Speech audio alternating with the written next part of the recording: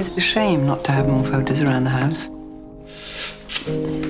I guess we didn't see the point of taking pictures of ourselves. It's a shame. Come on. What are you doing? Come on. I'm not prancing around in the living room at this time of night. And this really is a great venue for an anniversary. So full of history, you see. Like a good marriage.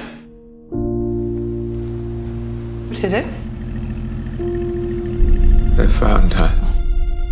You, you know who I'm talking about, don't you? We never talked about it in all the years that we've known each other. And it's tainted everything. You didn't know her. No.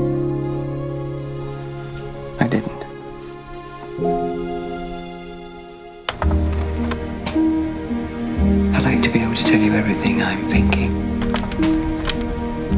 But I can't. They ask me how I knew my true love was true. Oh,